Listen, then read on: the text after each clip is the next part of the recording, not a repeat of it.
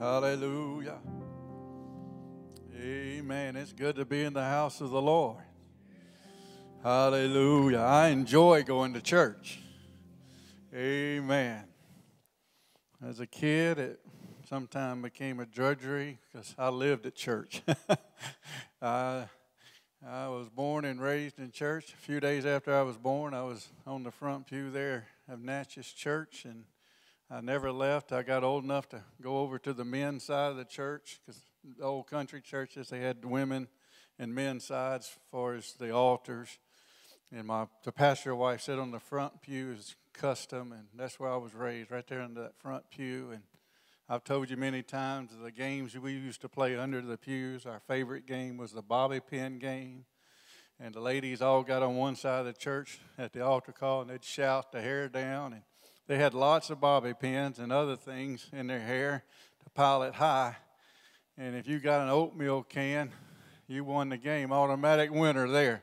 Amen. And so the big bobby pins were worth five points, the little ones were worth one. And so we risked life and limb many times to dive in there and get that big bobby pin or oatmeal can and Hallelujah. Because winning it at all costs. And I got knocked out one time. Sister Judy Stone kicked me right in the temple. Just put her back of her heel, hit the temple, knocked me out cold. Thank God I had a twin brother that had mercy on my poor lifeless body and drug me back underneath the pew and slapped me until I came to. Amen. So, but uh, we, we made it. Amen. So, church has always been a fun place, great place to come. And then growing up in church, literally was fun. We used to play tennis on the roof of the church, and we had all kind of fun events in the house of God, around the house of God. So it was my privilege tonight to bring to you the word of the Lord. And this message was born in the prayer room, where a lot of times God talks to me. But this message came um, courtesy of Sister Leftwich. She was in there praying one morning. She'd got there before I did. And uh, I walked into the prayer room, and she was sitting in the chair that I normally sit in. And I just went over to my other chair and, and sat down. As I sat down, she, she had stopped praying, and she said, Brother Nathan, do you want your prayer chair?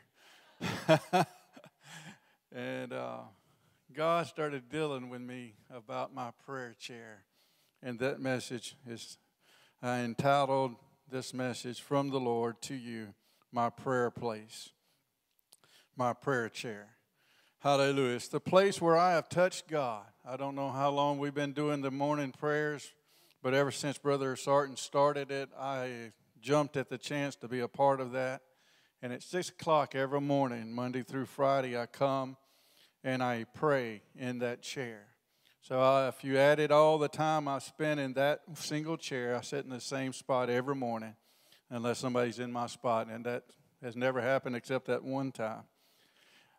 I I guess I spent a couple days in that chair, praying and talking to God and having Him talk to me. And I want to talk to you about that sacred place that you need to have in your life and teach upon the prayer place or your prayer chair or wherever position of prayer that you have to be a daily relationship with God. You have to have a prayer place.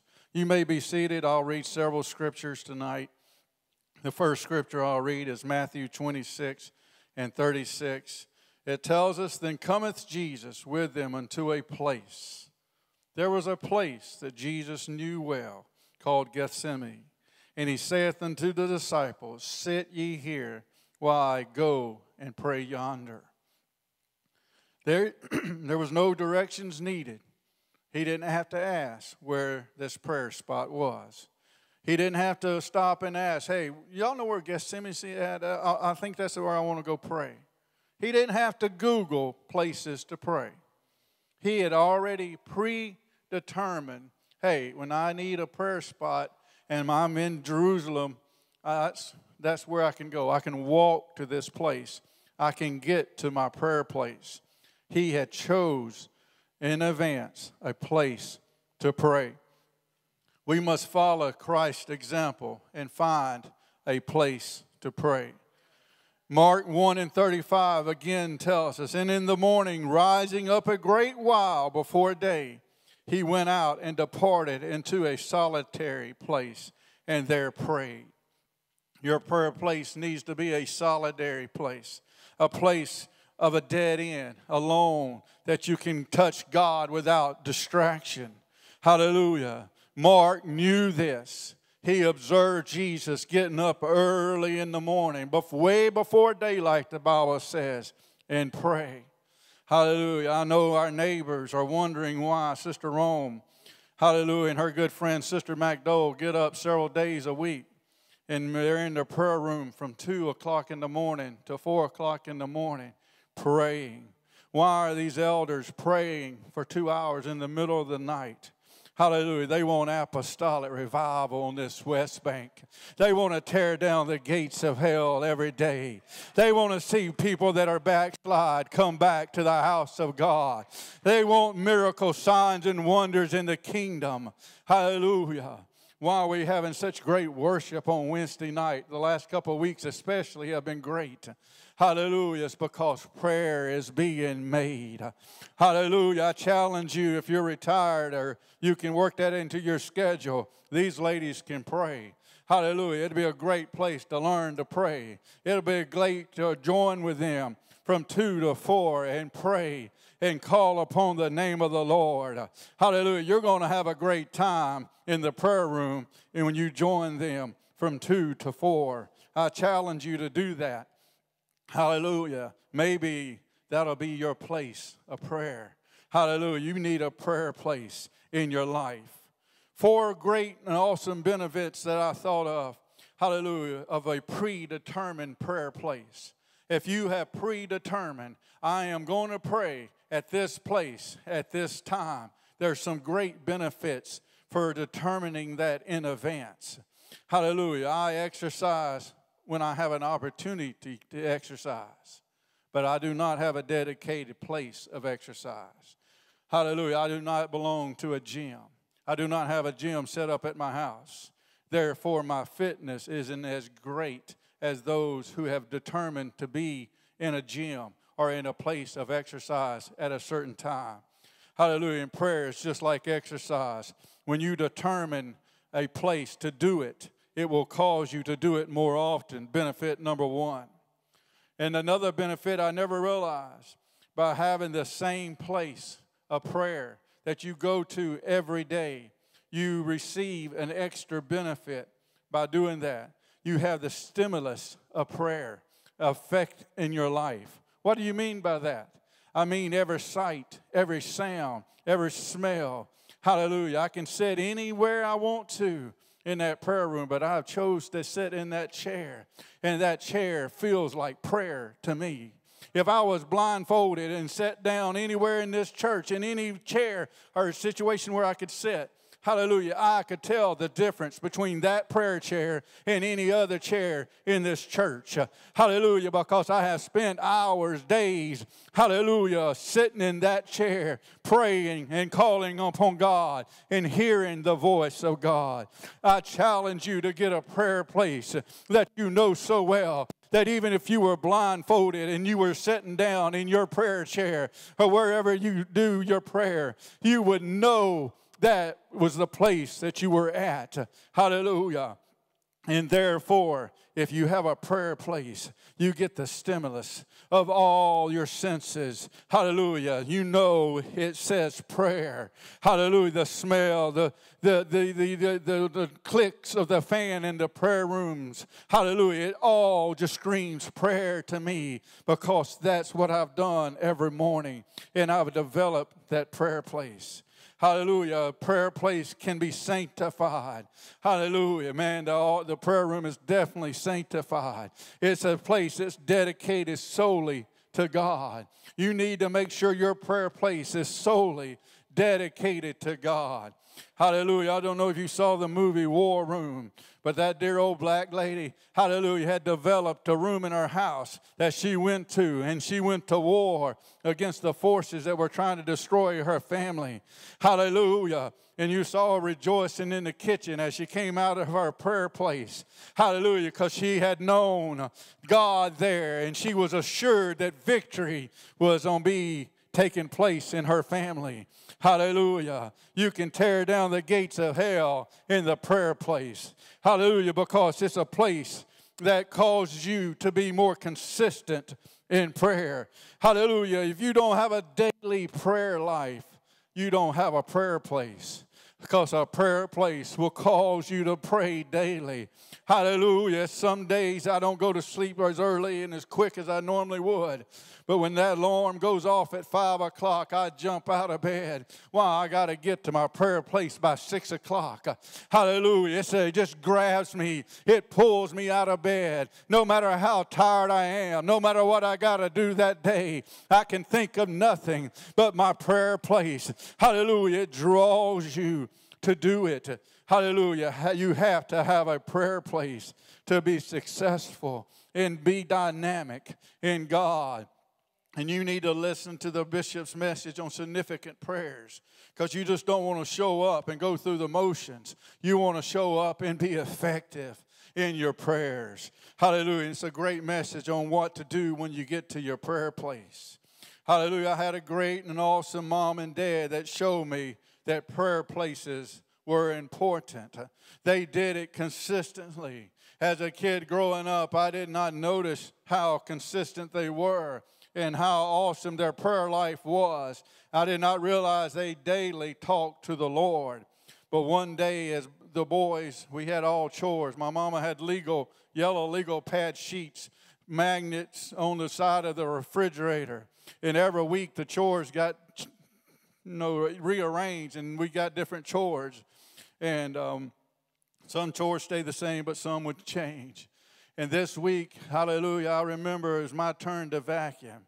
And the entire house back then was carpet, so vacuuming was a big chore.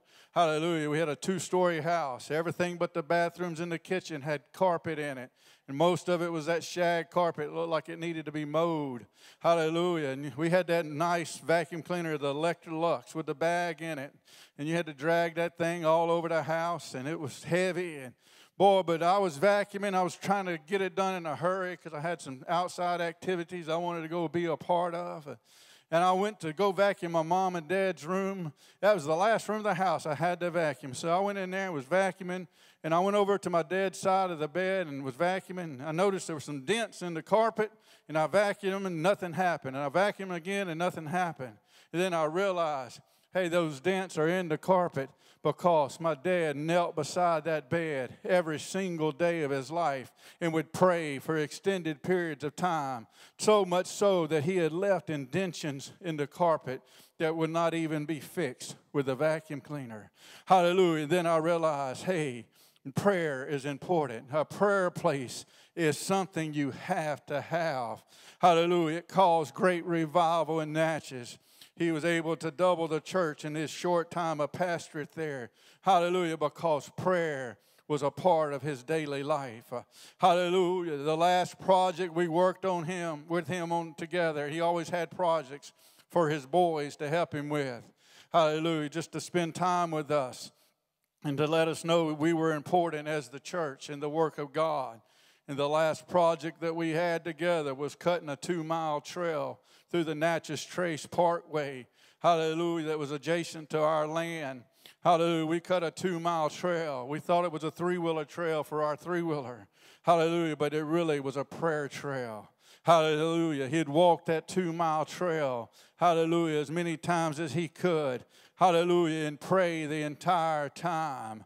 And he would just pray and he would call upon God. And he could know just the whole time he was walking, he was praying out loud with fervent prayer. Hallelujah. That was one of his second favorite place to pray.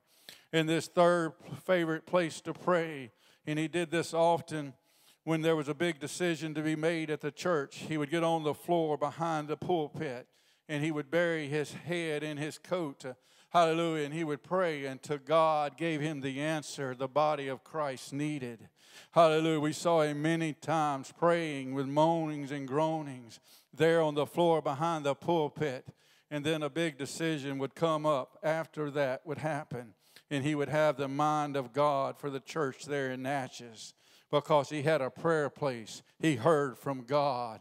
Hallelujah. There was no false steps, there was no directions that had to be corrected. When you have a prayer place, God keeps you in tune with the will of God. You wondering what the will of God is in your life? Get a prayer place and you'll know what thus saith the word of the Lord. Though he speaks to you in visions, dreams, or just a still small voice. Hallelujah. Your prayer place is where you'll hear from God. Hallelujah. You got to have a prayer place.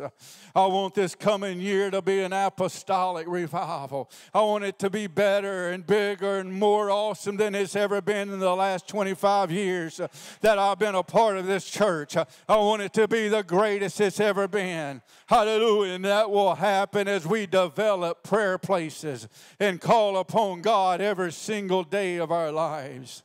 Hallelujah. You say, Brother Nathan, I have an unsaved spouse. Praying just anytime, anywhere is not possible for me. Well, I got you the answer. Granny Triplett had an unsaved spouse. Hallelujah. So her prayer place was once my granddaddy went to bed, he began to snore. Hallelujah. And that was her cue to get out of bed and go to her prayer place. Hallelujah. I thought she was spiritual, but my wife probably would agree that I snore. She probably did it just to get some peace. Amen. I don't know. But she would go to her prayer place in the hallway and she would wrap a blanket around her head and she would pray silently for hours because he was a light sleeper. She didn't want to wake him. And so she prayed without making a sound for hours. She would weep and intercede for things, hallelujah, for hours. And at four o'clock, she would get up and cook breakfast, making biscuits and everything else you would associate with breakfast. She did that every day of her life, Monday through Friday, for 30 something years that he worked at the Ingalls shipyard as a welder. Hallelujah, that's what she did. She prayed all the time in that hallway. Hallelujah. You have things in your life you don't want. Uh, hallelujah. She grew up in a kid in an abusive home. Hallelujah. Because alcohol made one of her parents, hallelujah, very mean. They were just a mean drunk. Uh, so when she got married, uh, she realized, hey, this guy that just got out of World War II was doing what all he, he was doing in the war, was drinking and smoking. And and acting like you know the World War II soldier he was. And she said, "Hey, I can't put up with that. I'm gonna pray that out of the house." Uh, hallelujah! Two cases of beer were in the refrigerator that night, and she prayed all night against that beer in the fridge.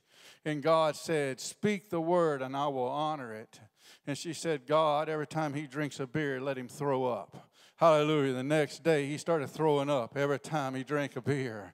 After about two or three beers, hallelujah, he quit and he never drank a beer for the next 50 years. Hallelujah. Why? Granny prayed in her place of prayer. She got the beer out of the fridge. Hallelujah. She was afraid that TV in the living room would corrupt her kids because she didn't have any control over that. And so she prayed. And he went to Sears and Roebuck and bought the biggest TV they had. Hallelujah. Brought it home, was so proud of his TV. But he didn't know Granny prayed. And she went to her prayer place and she said, God caused that thing to break. It broke the next day. Hallelujah. He went to Sears and got a newer, bigger one. It broke. Hallelujah. Granddaddy wasn't dumb. He realized what he was a hold of. He remembered the beer. Hallelujah. He just got rid of the TV. Amen. He wouldn't waste his money anymore at Sears except on tools. Amen. Why, Granny went to her prayer place she got rid of the things she was afraid of that would hurt her kids. Her kids grew up in a home without a TV, without beer, without alcohol. Hallelujah, because she had a prayer place. Hallelujah. What do you want out of your home? What do you want out of your family? Go to your prayer place and get rid of it. You can make a difference in their lives. God will help you as He helped Granny get rid of the things that she feared in her home. My mom's prayer place was in the living room, kneeling before the recliner. Hallelujah. She'd spread the Bible out on the recliner and she would read and pray. And she would be so lost in the spirit so many times when we came home from school, she didn't even know we were in the house. And that's pretty lost in the spirit when you have three boys come running through the house, screaming and hollering and whatever boys do when they get home from school. We were not quite at all, but she didn't even know we were there. Why? She was caught up into a heaven beyond that prayer room that she had created, that prayer place. Uh, in front of that recliner, as soon as you came through the door, there was a living room, and there would be Mama interceding for you and praying for you. It'd make the hair on the back of your neck stand up. Uh, hallelujah. Have you ever caused your kids to have those chill bumps from you praying. Hallelujah. I know what that is like. Uh, walk in and have your mama interceding for you. Hallelujah. And she did that the entire time we lived in that house. That was her prayer place. Oh, do you have a prayer place? Uh, I'm encouraging you. You have to get one. You have to create one. You have to find one. If you had one and you're not visiting it very often, dust it off. Uh, hallelujah. Recreate it. Do something. Find a new one. Uh, hallelujah. You got to have that prayer place. Hallelujah. Go back to it. I challenge you in the morning or whenever you pray to get to that prayer place once again and establish that consistent daily prayer. Amen. Because it will make a difference. Daniel 6 and 10 tells us about Daniel's prayer place. Now, when Daniel knew that the writing was signed, he went into the house, and his windows being open in his chamber toward Jerusalem, he kneeled upon his knees three times a day and prayed and gave thanks before his God as he did aforetime. It wasn't the first time he prayed, because if you wait till you're in trouble to pray, you end up begging because you don't have a relationship with God Almighty. Your faith will be weak and you will beg instead of pray, instead of touch God and be have great faith uh, that you can stand upon the word of God that you hear and speak the word into existence that you need. Uh, hallelujah. It happens because you have a prayer place uh, that you're continually visiting. Hallelujah. The king had been tricked. Hallelujah. And this is found in verses 4 and 7 and throughout this chapter. The presidents and the princes sought to find occasion against Daniel concerning the kingdom, but they could find none occasion or no, no fault. They were trying to find a, a weakness in Daniel. Hallelujah. They was trying to find something he was doing wrong where they could write him out. But as far as much he was faithful. Hallelujah. A prayer place will make you faithful. It'll make you a better employee. Hallelujah. It'll make you a better owner of your business if you have a prayer place. And that's what it did for Daniel. They couldn't find a mistake in anything he did, there was no error or fault found in him, verse 4 tells us. Oh, you become spiritually fit in a prayer place. Verse 7 says, In all the presence of the kingdom, governors and princes, counselors, captains have consulted together to establish a royal statute and to make a firm decree that whosoever shall ask a petition of any god or man for 30 days, save thee, O king, shall be cast into a den of lions. They had been sneaky, they tricked the king. Hallelujah. But Daniel's prayer place wasn't for sale. Hallelujah. He wasn't on quit praying just because there was a threat against prayer. Hallelujah. He went back to his prayer place three times a day it was known by his co workers. Hallelujah. If you have a prayer place, your neighbors, your friends, your family, hallelujah, the people around you know that you have a prayer place. Hallelujah. You just establish it and you keep going to it. And eventually, the people around you will take notice. It will be a, a witness to them of your relationship with Christ, how important it is. How no how does it help you? What does it make you different? Oh a prayer place will make you different than the people of this world. Amen. I can remember my first Well, my second job was at Walmart, and I just got hired right before the Christmas holidays, Thanksgiving holidays, and my first couple of days they showed me around, and then they gave me the job nobody wanted. That was sitting outside by the Christmas trees and selling Christmas trees. When somebody came out to the lot and get to buy one, you'd help them load it up and stuff like that. So I was sitting out there bored out of my mind because it was early, think, early November, Thanksgiving area, and people wasn't buying trees. Most people didn't start buying trees to after Thanksgiving. So I was just bored still. So I finally went to my manager and said, Would you mind if I read a book while I'm sitting out there doing nothing? Hallelujah. Because you just basically got me out here guarding these trees where nobody can come in and steal one. He said, Sure, Nathan, that's fine. Read, read, read a book, but just be attentive when somebody shows up. I said, I will. So I started bringing my Bible to work, and I would read uh, my Bible for hours while I watched these Christmas trees and occasionally help somebody. And people would come up to me later on, weeks later, said, You're the only Christian I've ever seen read a Bible. And I was like, Wow. I said, Thank God I had a prayer place that caused me to have the boldness and the thought given to me by God to read that Bible and be a mighty witness to many people that came to church with me while I was working there. Why? Because a prayer place changed my actions. Oh, if you have a prayer place, you're going to act different.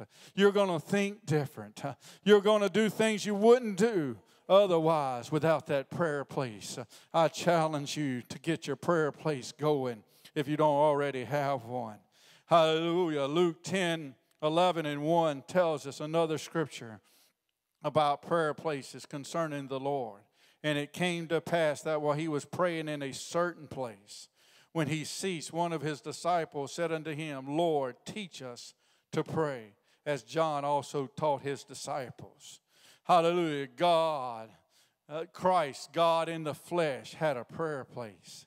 Hallelujah. How much more do you need a prayer place? Uh, hallelujah. And there, the disciples who were becoming apostles learned to pray in a prayer place. Hallelujah. The greatest place to learn to pray is in a prayer place with other people who know how to pray. Hallelujah. That's why I would encourage you to come to the prayer room when you have a prayer warrior. Hallelujah, praying. Hallelujah. You want to hear your bishop pray? Come at six o'clock in the morning. Hallelujah. And hear him pray. You can learn how to pray from this great man of God. And it's a great place to be. Hallelujah. To learn to pray. Oh, go to a prayer place of someone that you know that knows how to pray. Hallelujah. Prayer places can be places where you pray alone or they can be with groups.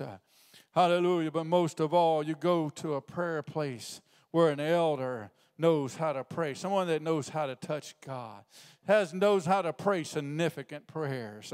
Someone that when they pray, things happen. That's where you need to go to learn to pray if you don't know how to pray. Find that prayer place with someone. Hallelujah. And let that be where you pray. And hallelujah. Your prayer place needs to be like Matthew 6 says, and 6 and 6. But when thou prayest, enter into thy closet. When thou hast shut the door, you need to shut the door. Get rid of all the distractions. You can't have phones ringing. You can't have all that distraction of technology. Hallelujah. When I pray in the prayer room, hallelujah, I make sure my phone is turned off because my watch is broke. I have to bring my phone in to make sure I don't not late for work, but it's just the time is all I can see. It doesn't get turned on at all. Why? Because I know I got to pray. I got to touch God. Hallelujah. In a place that is free of everything. Hallelujah. That's what you want in your prayer place.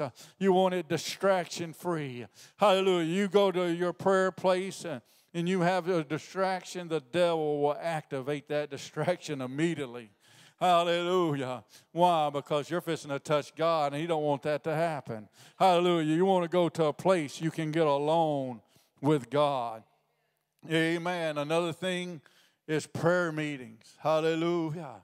We have a quarterly prayer and fasting. That's my favorite time of the year because the prayer meetings that occur each and every night. Hallelujah. is so fantastic. This church does a great job. I've never seen another church do it like that. Hallelujah. And that's why the work of God here is prosperous. Why? This church knows how to pray. Hallelujah. We just got to do what we know what to do, saints of God. Brother and sister, you know how to pray. Many of you do. Hallelujah. Many of you have had a prayer place or currently have a prayer place. Hallelujah. Make sure you go to these prayer meetings when we have them. Hallelujah. Every night. I don't want to miss a night uh, because that prayer meeting is awesome great and awesome things happen at prayer meetings. Uh, hallelujah. I can remember many things that God has done for me at a prayer meeting. Hallelujah. I remember when we had cell groups, we had prayer night one night at Sister Margaret Amon's house. I can take you to the house right there on Mount Rushmore. Hallelujah. There where she lived. I believe that was a street. Is not it? Mount LeBlanc. Hallelujah. I know her house. I can take you to the house and where we had that prayer meeting that night. I had hurt myself at work. My back was killing me. I was in extreme pain. I never felt that much pain in my life. I could barely move. Hallelujah. People had to help me get up out of a chair. I couldn't even get out of a chair on my own. Hallelujah. And I went to that prayer meeting. God, I want to be touched. I'm too young to have back surgery. I don't want to have a back surgery at 30 years old, I think I was at that time. Hallelujah. And I went there desiring a miracle. As we began to pray, I felt the warm oil of the healing virtue of Christ land on my head, and I felt it dripping down my face. Uh, and when it got to my back, the pain went away, and my back has been made whole for 20 something years now. Hallelujah. Why? Because I was at a prayer meeting. Hallelujah. God did that divine miracle in my back at our prayer meeting. And uh, Acts 16, 13, and 14 tells us about our prayer meeting. On the Sabbath, we left the city and went down along the river. We have a river right here in the great Mississippi River where we had heard there was to be a prayer meeting. Oh, what a wonderful place to pray is by a river. Hallelujah. And they had an awesome prayer meeting. And great and mighty things happened in that prayer meeting. One Lydia, a seller of textiles, became a mighty force in the kingdom of God from that prayer meeting. Hallelujah. Do you have an opportunity to go to a prayer meeting? That's a great place to pray. Hallelujah. And you bind together when we do these prayer and fasting sessions. Be here every night because you get to bind together with the body of Christ. Hallelujah. There's going to be miracles that occur in those prayer meetings. It just, that's only, it can't nothing else but happen but signs, wonder, and miracles when the body of Christ comes in one accord in one place and begins to pray. Hallelujah. Awesome things happen in our prayer places, whether it's single or with a group. Amen. Let's clap our hands unto the Lord.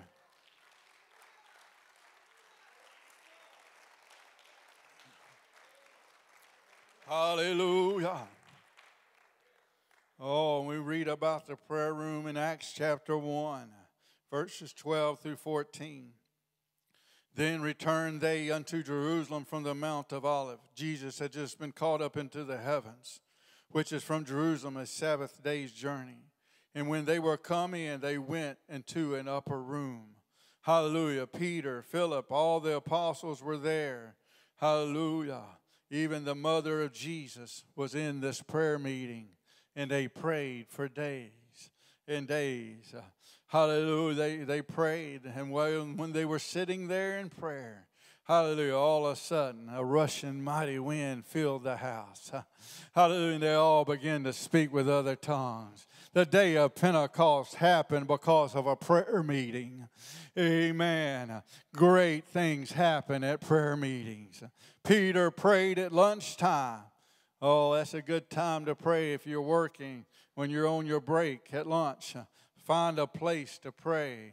Find a corner in that building or somewhere where you can go and pray for a few minutes. It'll make a difference in your day.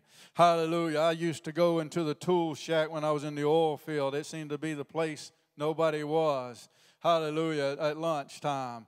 Hallelujah. I'd eat my lunch quickly and go over to that tool shack where all the power tools were kept. Hallelujah. And I could walk up and down those aisles in that tool shack uh, and pray and call upon the Lord. Uh, hallelujah. And seek peace in my soul and protection and things that I needed. Oh, in my prayer place. Uh, I found that even at work, I would make a place for prayer at lunchtime. And that's what Peter was doing. He was praying on his lunch break. And it says on verse 9 on the morrow, as they went on their journey and drew nigh unto the city, Peter went upon the housetop to pray about the sixth hour, which was lunchtime. And he became very hungry and would have eaten. But while they made ready, the food wasn't coming together as quick as it normally did. He fell into a trance. Hallelujah. And there we have Acts chapter 10 because Peter was praying. Hallelujah. Without a prayer place, Acts 10 wouldn't have happened. Cornelius would have had to wait for somebody else to hear the voice of God for somebody else to get the trance, the dream, or the vision.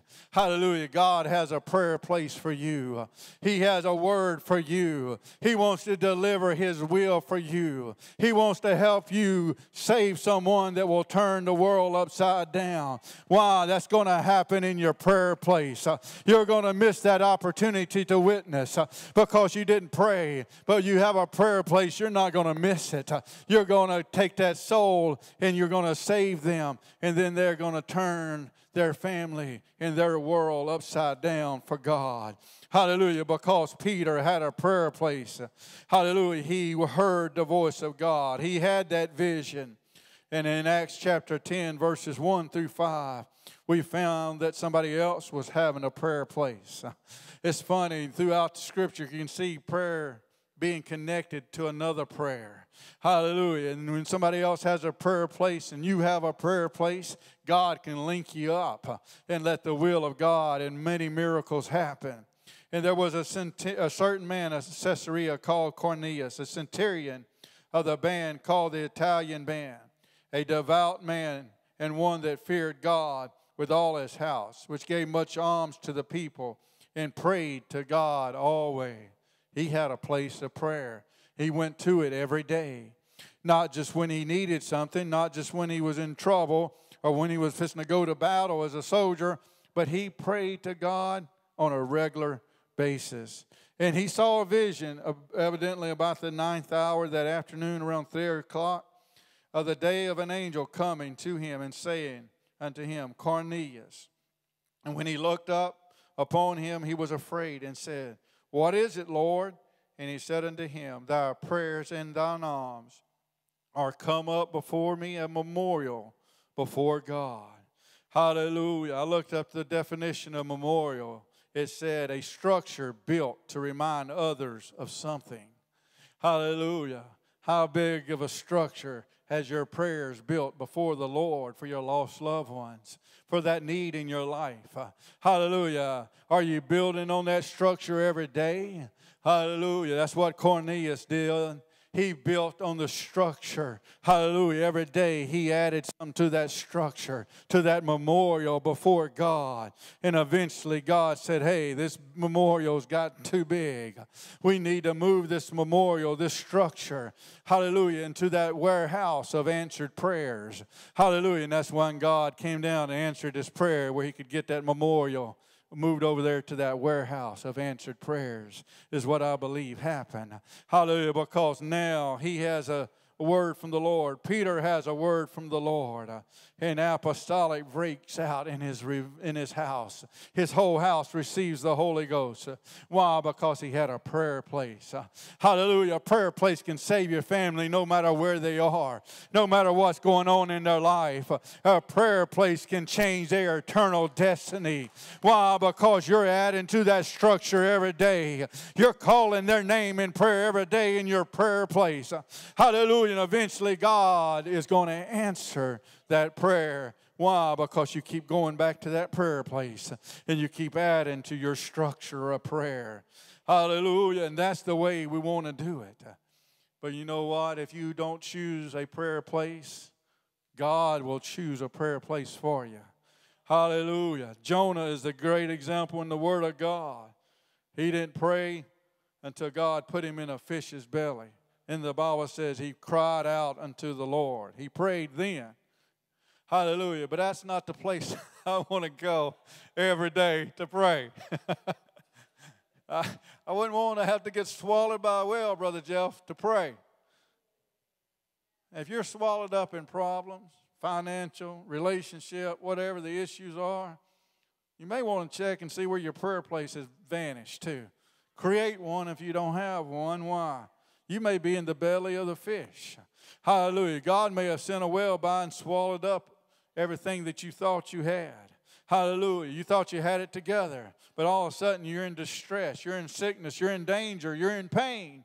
Why? Because God's trying to cause you to go to a prayer place. Hallelujah.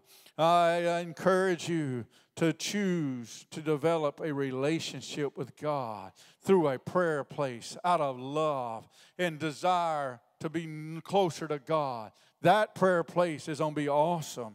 Hallelujah. That fish's belly prayer places that God creates to get you to pray isn't where you want to be. Hallelujah. Three P's of your prayer stool. Remember, a prayer partner, a period of time that you have selected to go to every day at that same time, and a prayer place. Hallelujah. I pray sitting down in that chair. Hallelujah. I told you my granny laid on the ground. She never prayed except laying on the carpet, buried her head in that blanket. Hallelujah. Why? Because that's what she had to do with that unsaved husband. That was her prayer place. God doesn't really care where your prayer place is. He just wants you to show up every day. Hallelujah. Hallelujah. It's like you know, Sister On cooks a great meal every day. That's all I'm looking for is the great meal. I'm not trying to tell her how to cook or where to cook. I just want to show up the table every day for that great meal. Hallelujah. God wants you to show up every day. He's looking forward to it. He desires your relationship. He desires you to have a prayer place because He knows with a prayer place you will be consistent in your prayers. Hallelujah. Judges 16 27 through 30 tells us this of a man, a man of God that lost his prayer place. Hallelujah. And eventually had a sad ending to his life. And that is Samson. Now the house was full of men and women, and all the lords of the Philistines were there. And there upon the roof were 3,000. Just the upper deck held 3,000. It's a great big place that beheld Samson. And Samson called unto the Lord and said, O Lord God, remember me, I pray thee, and strengthen me. I pray thee only this once, O God, that I may be at once avenged of the Philistines for my two eyes they had blinded him because he didn't have a prayer place. He started flirting with the world. That's how you know you don't have a prayer place. You'll flirt with the world. You'll do things off color. You'll tell a joke that really you wouldn't told if you'd been praying in your prayer place. You go places you wouldn't go because you hadn't been in your prayer place. You know if you're honest with yourself. Hallelujah. When you're praying you, you have a certain things that you do, and then when you're not praying, you don't have that prayer place man, things start to wobble. You start watching things a little off color. Hallelujah. The language can get a little worse and it won't bother you. Why? Because you don't have a prayer place. Hallelujah. And that's what happened to Samson. He got caught up in the lust of his life uh, in Delilah, and it took his eyes out the world always treats you bad. Hallelujah. Go to your prayer place where you can be treated lovingly by your heavenly Father. He will take care of you, He will provide for you. Hallelujah. He will direct you in your prayer place. And Samson took hold of those two middle pillars upon which the house stood, upon which it was bore up, and one on his right hand and the other on his left. And Samson said, Let me die with the Philistines. And he bowed himself with all his might and the house fell upon all those in the house. And those that died in that, that one act were greater than all the victories added together. All the people that he had killed, hallelujah, all those Philistines he had destroyed. He killed more in that day, hallelujah, When that one act. But I just want to think uh, what could Samson have done with a prayer place? He could have lived for a long time with a prayer place. He could have had many great victories with a prayer place. He could have made a bigger difference with a prayer place. Hallelujah. Let's stand right now. Hallelujah. In just a moments of prayer. Hallelujah. You've heard the word of the Lord. The scripture is very clear. We need a prayer place. Uh, the examples personally and throughout the Word of God. Hallelujah. Make it crystal clear. Hallelujah. A prayer place will make a difference in your life, uh, but it will also make a difference in the body of Christ. Uh, hallelujah. Apostolic revival will come upon the West Bank quicker in greater measure when? When we all have a prayer place. Uh, we will be stronger as a body of Christ. Uh, we will have the gifts of the Spirit operating. Why? Because we're all in a prayer place. God can trust us uh, with these gifts of power and grand. Why? Because we have a prayer place. You won't be lifted up in pride just because God uses you to have a miracle or to raise the dead or to heal the sick. Why? Because you're in a prayer place. In that prayer place, place you're crucifying the flesh daily. Hallelujah. Commit to your prayer place. Uh, if the storm threw you off your prayer place, come back to it tomorrow. Hallelujah. If life has thrown you a curve, come back to your prayer place. Uh, the holidays oftentimes throw me off of my prayer place. Uh, I have to make an effort say, hey, I can't let the holidays knock me off my prayer place. I still got to go. When I'm off work, I still got to go. Hallelujah. My prayer place is important. Hallelujah. I can't take a day off. Hallelujah. Call out to God right now. God, I will recommit to my prayer place. I will be faithful to my prayer place. I won't let life, I won't let circumstance determine if I go to prayer tomorrow. I'm going to prayer regardless.